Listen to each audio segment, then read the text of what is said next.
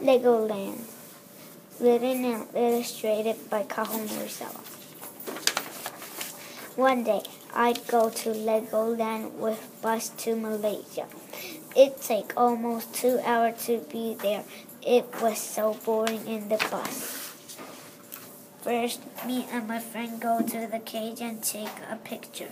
Next, we go to the shark mouth and we are nearly eaten by the shark. Then we go to the amazing jet coaster.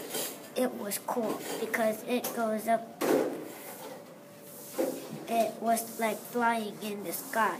When it goes down, it was like going down with a bounce ball. Finally, we go to an airplane that was made with a Lego. It was so fun. The plane started to wiggle, started to scream. Ah! The thunder started to grumble. Boom, boom. And it started to rain. Oh no, we don't have a raincoat. We quickly both buy a raincoat.